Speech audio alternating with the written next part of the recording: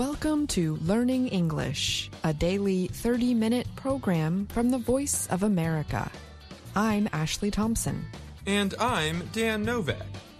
This program is designed for English learners, so we speak a little slower and we use words and phrases especially written for people learning English.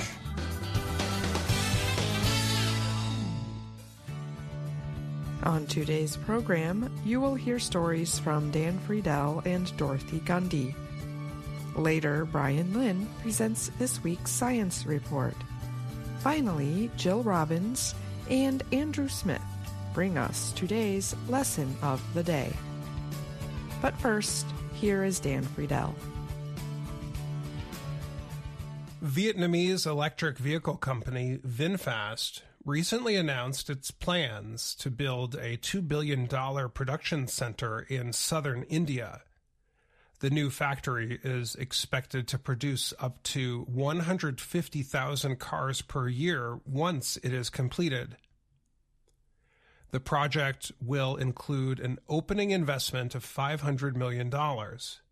Construction will start this year. The production centers are expected to support over 3,000 jobs in the Tamil Nadu state. The center will be close to the port city of Thoothukudi. VinFast started in 2017 and has been producing electric vehicles since 2021.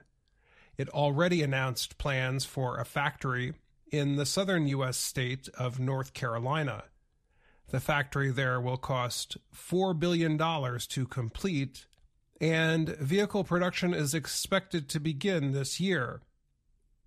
VinFast brought its cars to market in the US for the first time in 2023. The cars have not sold well in the US because they have received some bad reviews and there are questions about their quality. VinFast officials, however, believe the company can succeed in the U.S. The company's stock is listed on the NASDAQ stock exchange, and for a short time, its shares were worth more than Ford and General Motors. However, by the end of 2023, the company had lost more than $1.4 billion. VinFast said it hopes to sell its cars in 50 markets by the end of 2024. It announced a $400 million factory in Indonesia late last year. VinFast cars will be used in Laos by Green SM, a taxi company mostly owned by VinFast's founder. The production center is the first move by VinFast to enter the growing Indian market. The country has one of the fastest growing electric vehicle markets in the world. India has launched a $1.3 billion plan to support electric vehicle manufacturing and use. However, of the 2.3 million EVs in use in India, most are inexpensive motorbikes, rickshaws, and scooters. Some experts wonder if there are enough Indians who have the money to purchase a costly electric car. VinFast is part of Vingroup, which was started as an instant noodle company in Ukraine in the 1990s by Pham Nhat Vuong, who is now Vietnam's richest man. I'm Dan Friedell.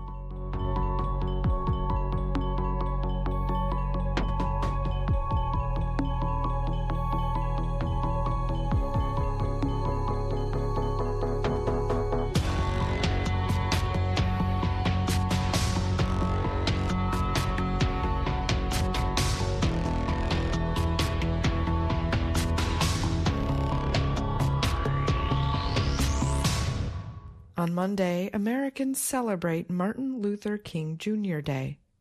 In this next report, Dorothy Gundy tells us a bit about the life and work of the civil rights activist. Martin Luther King Jr. was an American leader of the civil rights movement in the 1960s.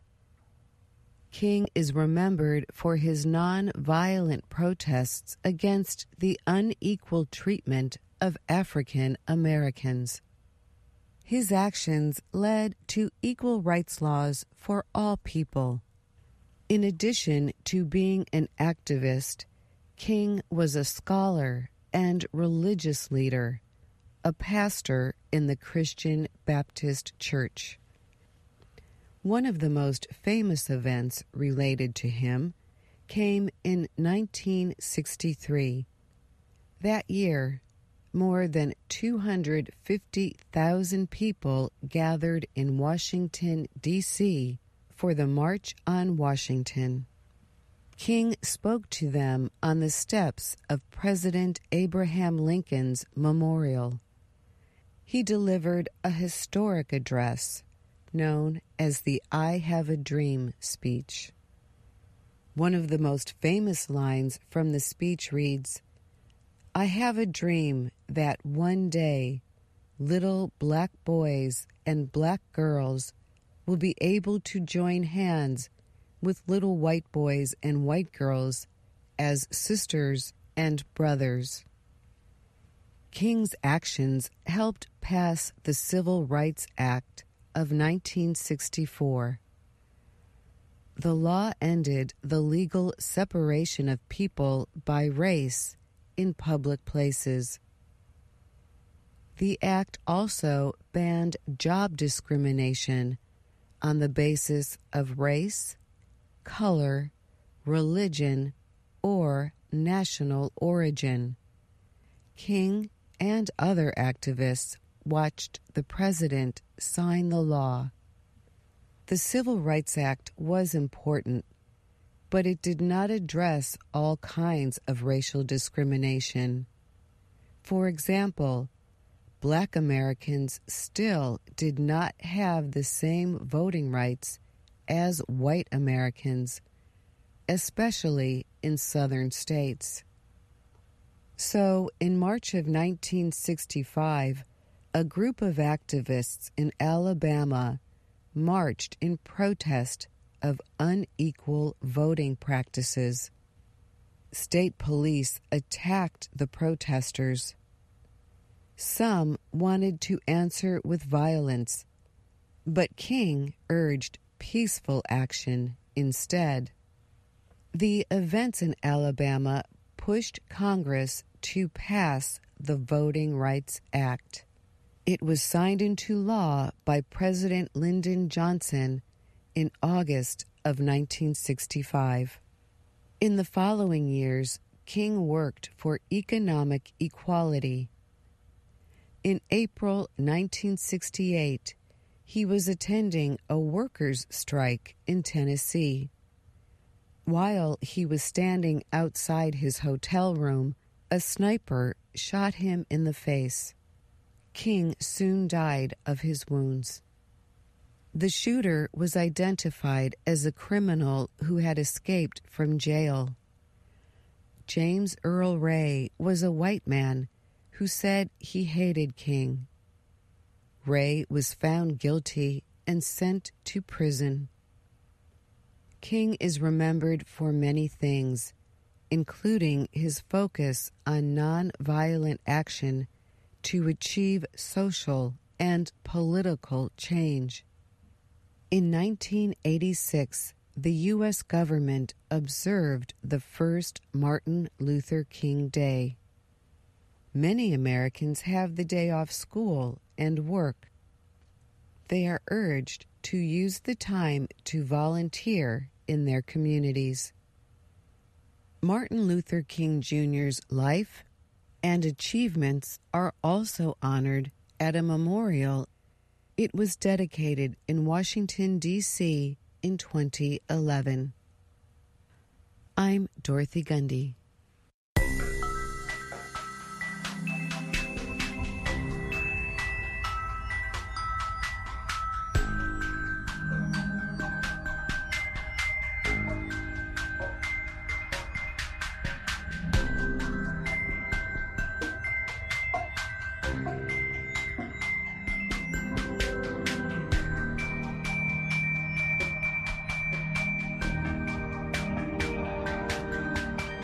The American Space Agency, NASA, has postponed two moon missions that are facing development and safety issues. NASA's program to return astronauts to the moon for the first time since NASA's Apollo 17 mission in 1972 is called Artemis. The agency split the program into three parts. In 2022, Artemis 1 sent NASA's Orion spacecraft on a trip around the moon without a crew the agency's huge Space Launch System, SLS rocket, carried Orion into space. The spacecraft traveled more than 400,000 kilometers from Earth and completed a close flyby of the moon. NASA officials declared Artemis 1 a big success. The second planned trip, Artemis 2, was set for late 2024. The goal was to send Orion on the same path Artemis 1 took, but with four astronauts. NASA announced last week it had set a new September 2025 target for the launch of Artemis 2. The third mission, Artemis 3, will attempt to land astronauts on the surface of the moon. NASA says the crew is expected to include the first woman and the first person of color. Artemis 3 was planned for 2025, but has now been pushed back to September 2026. NASA Administrator Bill Nelson said the postponements were necessary in order to give the agency time to deal with several ongoing problems affecting the Artemis program. Safety is our top priority, Nelson said. He added that the delays will give Artemis teams more time to work through the challenges. NASA's announcement about the delays came shortly after the successful launch of a private American company's spacecraft that aimed to land on the lunar surface. That spacecraft, called Peregrine, is a moonlander built by Pennsylvania based Astrobotic Technology it launched January 8th aboard a Vulcan Centaur rocket built by America's United Launch Alliance, ULA.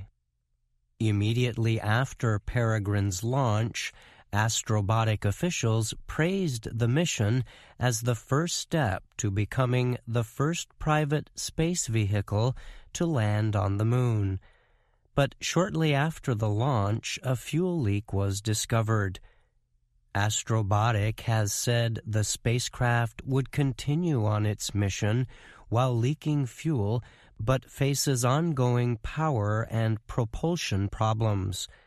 The company aims to keep the lander going as long as possible and to collect data from its instruments. But officials from Astrobotic have said Peregrine is no longer expected to land on the moon. Peregrine is part of NASA's Commercial Lunar Payload Services CLPS program. It aims to hand over the nation's major missions to private companies in an effort to operate at reduced costs. Peregrine and other planned missions in the CLPS program aim to land on the moon to support future Artemis activities. Another program member, Texas based Intuitive Machines, plans to launch its Nova C lander to the moon next month. Astrobotic has said it also plans to send another lander called Griffin to the moon's south pole in late 2024.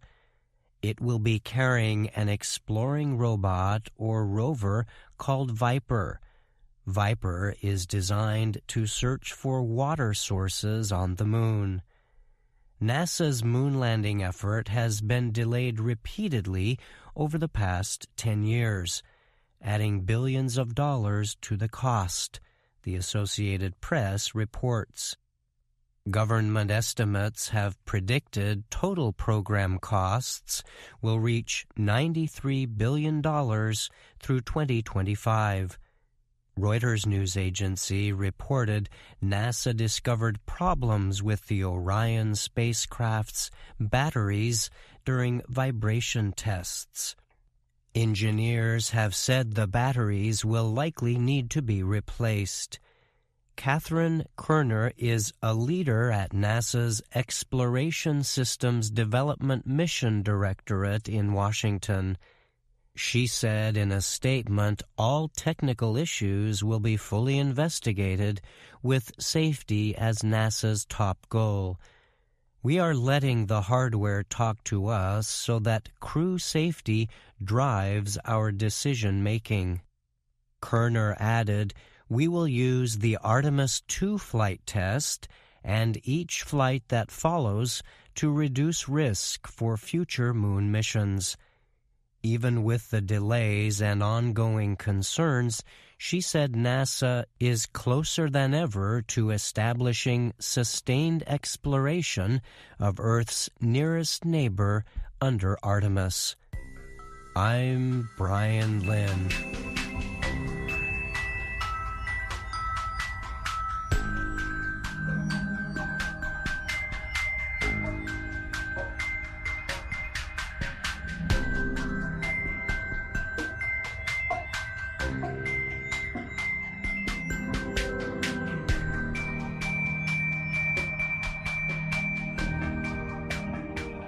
Bryan Lynn is here now to talk more about his science report. Thanks for joining me today, Bryan. Of course, Ashley. Glad to be here. In this week's report, you described some changes to NASA's moon mission plans. Would you say these announced changes, which relate to the timing of planned flights, came as a surprise? Well, on the one hand, I would say it was kind of a surprise, uh, just because only weeks ago NASA was talking about looking forward to another test flight uh, this year of its Orion spacecraft. And this time, the flight was to include astronauts also riding aboard Orion on a distant trip around the moon, um, which the agency seemed very excited about. But these Artemis missions have already faced delays, and NASA says these are necessary to resolve remaining issues to ensure safe and successful flights. Has NASA identified specific issues that led them to announce the latest mission postponements? The agency did say it identified some specific problems related to the operation of the Orion spacecraft. Um, these include a battery issue, as well as difficulties with electronic elements that control airflow and temperature. So, these aren't seen as major problems, but again, NASA officials are saying they just need more time to examine the difficulties and carry out more testing and the earlier timelines set for the moon missions would simply not give engineers enough time to deal with these issues. Okay. Thanks again for joining me, Bryan. You're welcome. Thank you, Ashley.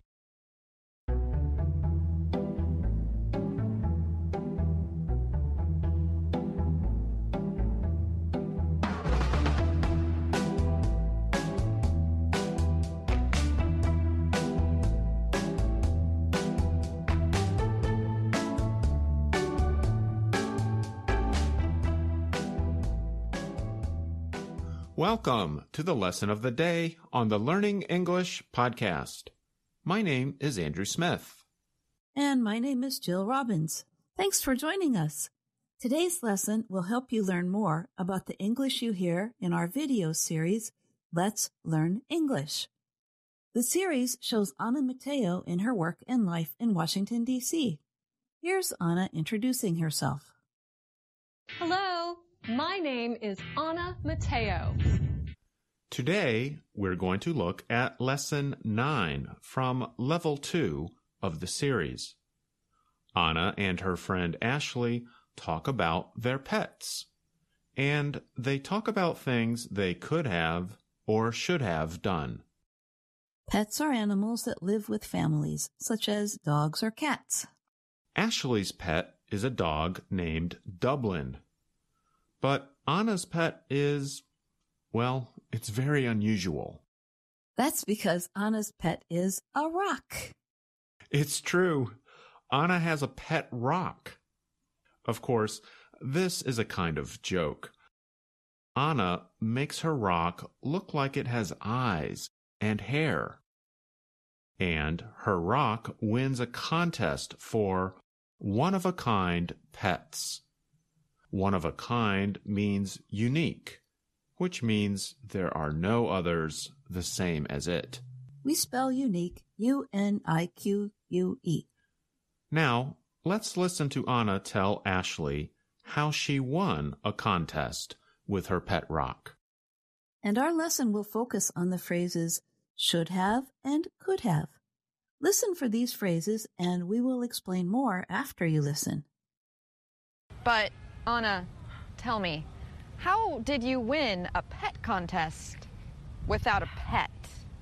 Okay, the closest thing I have is my pet rock. I know it's silly, but I've had it since I was a little girl. So, for a joke, I brought it to the fair. But then I was invited to enter the one of a kind pet contest. And I won! Anna, only you could have won a pet contest with a pet rock. I should have brought Dublin. He would have won a contest. It's not very easy to win one of these. Does he have a costume? They had a costume contest. You should have seen this little girl. She and her dog wore matching princess costumes. Dublin doesn't wear costumes. Does he know any tricks? Come this way. Now, watch this. One more. One more. You caught it, Dublin! And you killed it! Oh, good dog! Ashley, he could have won the best catch contest. Oh, good boy. Ashley, pets are fun, aren't they? Yes. And they become part of your family. Did you hear the examples with should have, could have, or would have? We can say should to give advice, as in this example.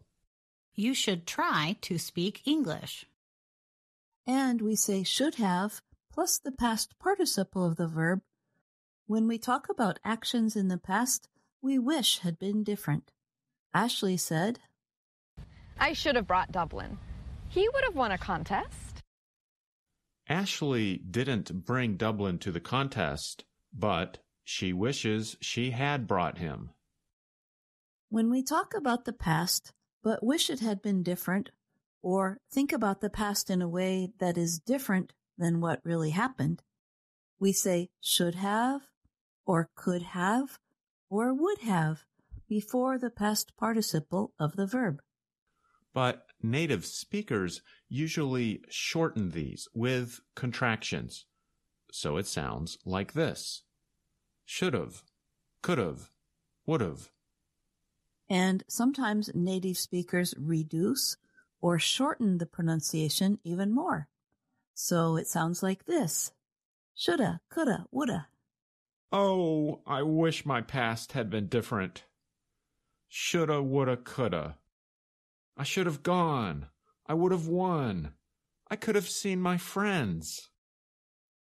When you hear someone say shoulda, woulda, coulda, it's often because the person is saying it's not good to look back with regrets. I know, but sometimes I wish I could have done something different. Well, we all probably wish we could have done something different in the past. But now let's talk a little bit about owning a pet.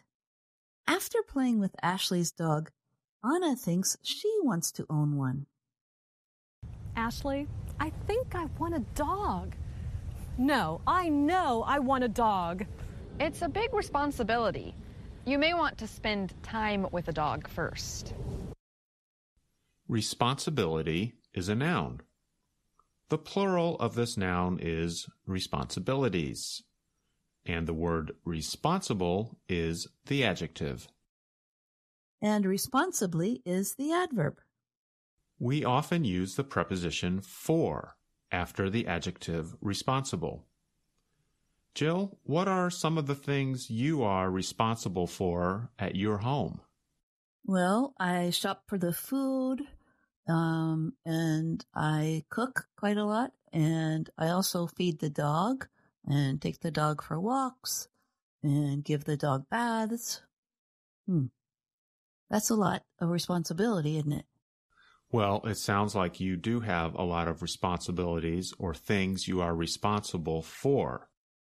And as Ashley says, owning a pet can be a big responsibility. When you own something, that means it is yours. It belongs to you. The state of owning something is called ownership. Jill, you have a dog. What responsibilities come with pet ownership?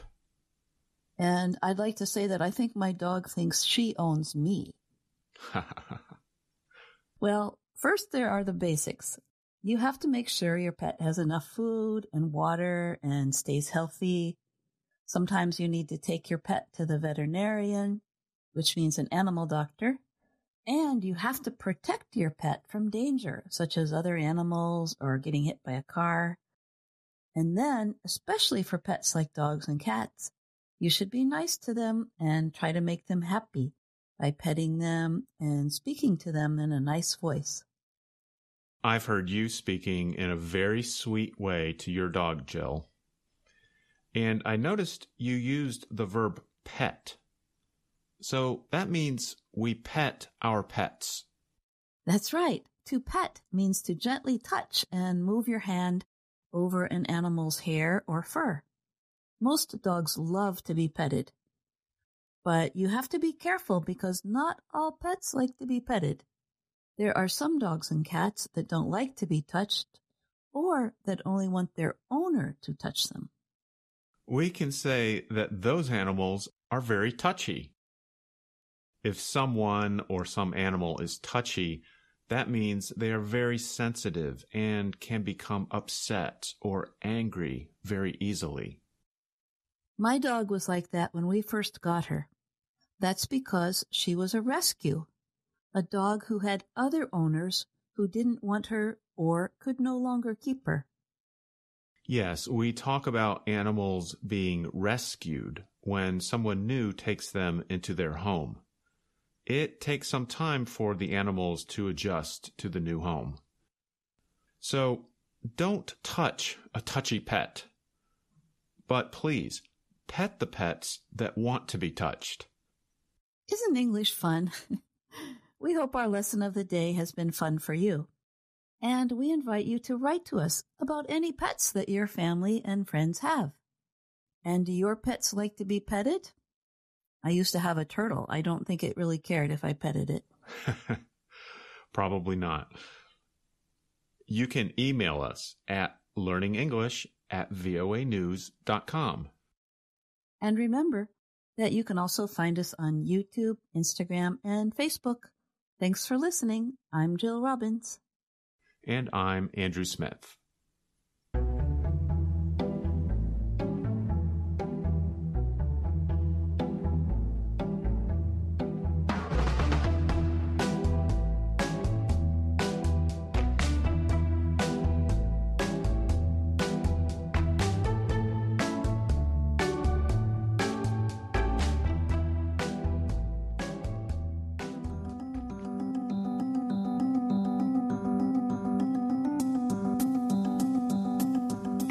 That's our program for today. Join us again tomorrow to keep learning English through stories from around the world. I'm Ashley Thompson.